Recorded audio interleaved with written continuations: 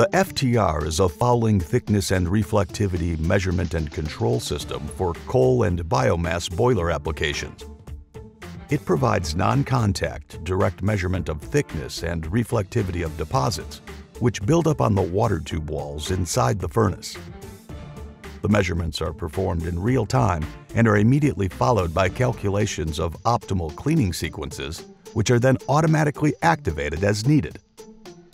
A sensor head periodically moves into the furnace for about two seconds. A laser beam creates a light spot on the fouling surface. A camera looking through the sensor head's optics detects the laser's reflection. When the fouling builds up, the image of the laser spot moves along the camera sensor. A processor analyzes the distance between the initial image, when the tube was clean, and the current image, and calculates the thickness of the fouling. The camera also records the intensity of light reflected from the fouling and compares it to light bounced off a calibrated specimen inside the sensor. These two values allow for the calculation of fouling reflectivity, the second parameter strongly affecting heat transfer in the furnace. A computer server analyzes data from all sensors installed in different parts of a furnace and makes executive decisions on which sequence of soot blowers to activate and for how long. The system includes a special electromagnetic sensor which is attached to a blower motor. When a blower is activated, this sensor blocks the nearby FTR sensor head from deploying to prevent damage.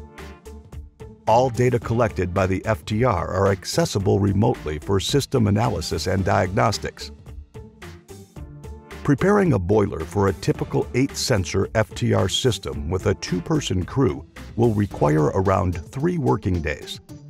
This can be carried out during regularly scheduled maintenance outages.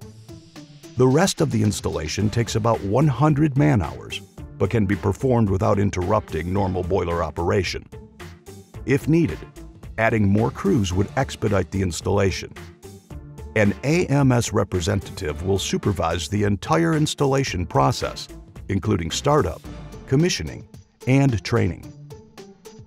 Preparing a boiler begins by removing 1.5 by 1.5 foot patches of furnace thermal insulation from locations predetermined by AMS pre-retrofit testing. Next, a mounting bracket is welded onto the furnace water wall membrane. This bracket will hold a Climax cutting slot mill supplied by AMS, which is used to cut a precision 1 half by 1 inch opening in the membrane. Then a small stud is welded above and below the new opening. A casing channel is bolted to these two studs and the area can be re-insulated. When all holes are cut, all casing channels installed, and all furnace thermal insulation reinstalled, the boiler can be put back into operation. The rest of the installation involves mounting the sensors and interconnecting all components. A two-person crew can accomplish these tasks in about six working days, so the entire process of installation, startup, tuning, post-retrofit testing, and personnel training can take two to three weeks. FTR was tested, inspected, and certified by TÜV, it is protected by US and European Union patents. It can be used on any kind of boiler which is equipped with a soot-blowing system. The FTR system in this presentation has been in operation for more than five years on boilers of 400 to 600 megawatts.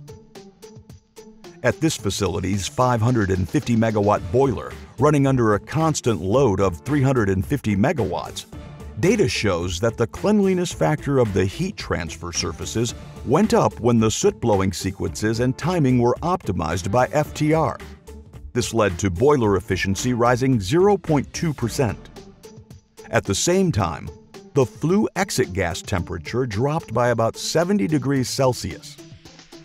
Because the FTR system provides direct measurement of thickness and reflectivity of fouling, it allows for the optimization of operating conditions, thus improving heat transfer in the boiler in real time.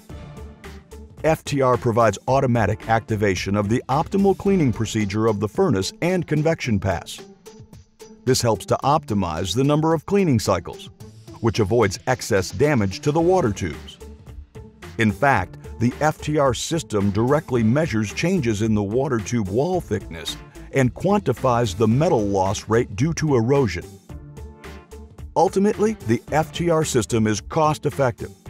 The increased boiler efficiency and reduced reheater spray can save almost a quarter of a percent in fuel.